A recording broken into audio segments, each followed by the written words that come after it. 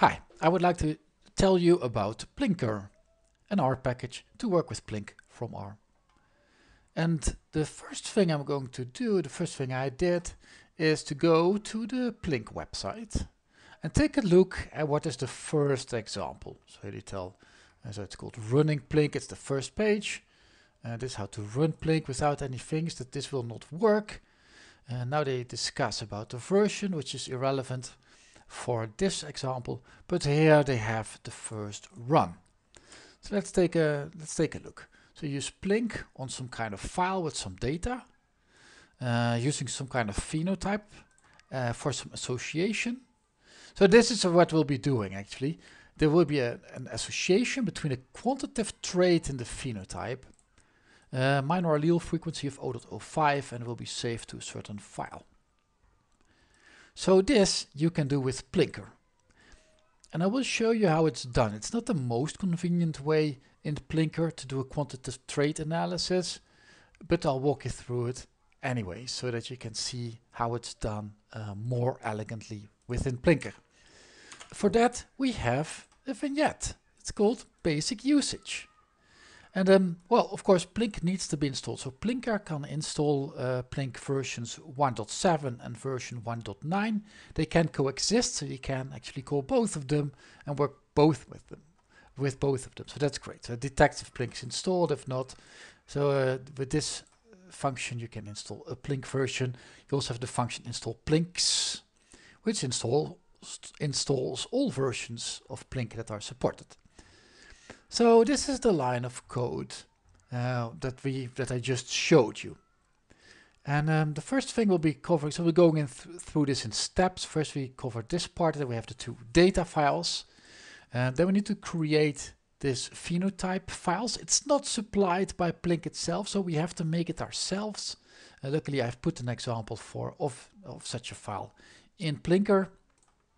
Um, well, we're going to and, th and, then we have all we need. We are going to specify an output file. And then for all the commands we need to run Plink. So if we have all the files, we can call Plink exactly like this. And we'll have our result and will also be shown. So let's make this first thing, dash dash file my data. It means that it will look for two files, mydata.ped and mydata.map. Uh, pad means pedigree, map means a genotype map. So um, luckily, um, the Plink, Plink supplies both of them. So you can get the Plink example files from Plink 1.7. 1.7 has the more interesting one. 1.9 also has an, an, an um, a toy ped file. It's actually called toy.ped. But in 1.7 it's called test.ped. And also there's a map file uh, in Plink 1.7 called test.map. Also in 1.9 uh, it's available, it's called toy.map, but it's less interesting than this one. Um, and um, so, or, so, so we have these file names available, and Plink needs to know um, not the path to the ped file, nor the path to the map file. It needs to know the path to either of those two without the extension. Well, because those two files are in the same folder, if I remove the extension, uh, because they're both called test, uh, will be the same. Uh, so we can just use either of those two files uh, paths without extensions. So nice. So now we can call plink dash file my data uh, on files that are already there. So that's an easy one.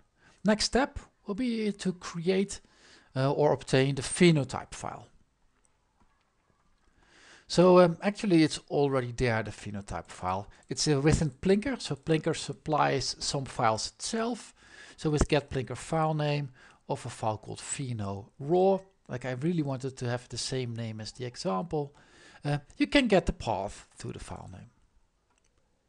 Um, the output file name is easy. We just need to specify um, the, the, the, the, well, the output file name which is uh, very simple. We're going to use a temporary file, uh, which in the end will be a folder, um, with run1 added to it. So it will write to a temporary location, and that will create a file run1. But this run1 is used as a base uh, to start creating files.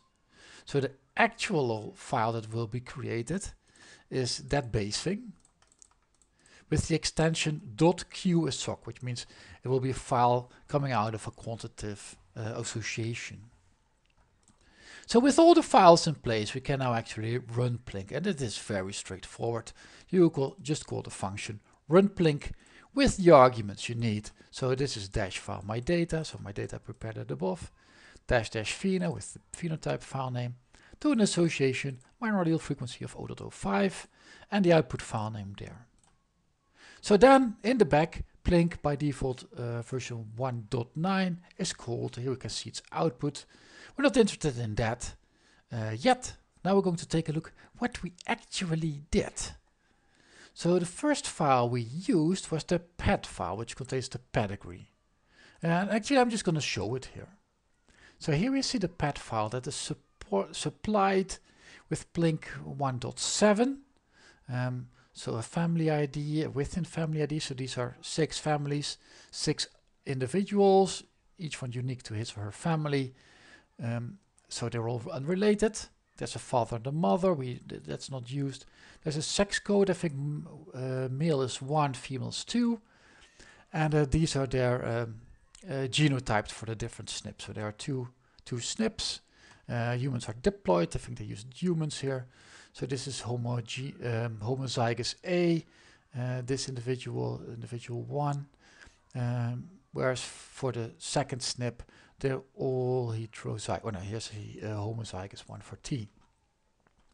Um, note that I did add the descriptions of the columns. So uh, because uh, Plink doesn't uh, do that, so I added it for uh, mostly myself so I can read things.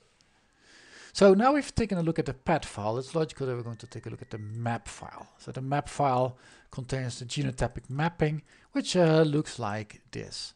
So we have two SNPs, both on a first chromosome, at the base pairs 1 and 2, and at the position in centimorgans of uh, 0, which means that it's ignored.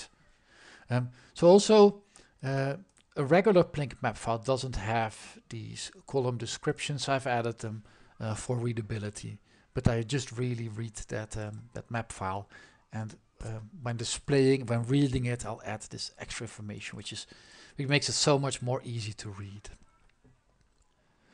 Um, all right, so the phenotype file. Let's go through that one now. So the phenotype file needs to be like this. Uh, so it needs to have a family ID and a within family ID. So these are the six individuals we already seen. So family ID 1 to 6, uh, within family ID 111. That's exactly the same as these two columns. Um, and here are the phenotypes for the first trait. So you can have multiple traits. Um, so here they have a phenotype for the first trait. Note that these phenotypic values, you can also find them here if you look well. Um, these are actually ignored. Um, so, so you can ignore it. Uh, I always supply a phenotype file like this and it will always be used. And this column will always be ignored within plinkr. Uh, because this scales up way more better to put all the phenotypes in, uh, in one table. Uh, it's, it's reasonable to put all the phenotypes in a phenotype file. So let's take a look at the output uh, that Plink gave. Uh, so it, this is the association file, so it created a QSO file. Uh, this is how it looks like. It's a table. Uh, so these are the SNPs at chromosome 1, at base pair 1 and 2. This is the number of non-missing genotypes. Uh, and then we can see it mostly, so I think the most important one is the regression R squared. So that means how much it can uh, attribute of the phenotypes to the genotype. So apparently SNP1 is better associatable uh, with the phenotype uh, than SNP2. So this was just a basic example um, to use the first line that you can find on the Plink website within plinkr. Um, I'm looking for users, so you're always welcome to um, to help out. Um, I wish you a very good day. Bye.